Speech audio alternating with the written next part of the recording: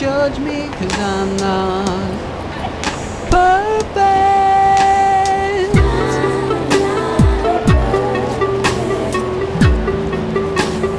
Please don't judge me if I'm not in church on Sunday.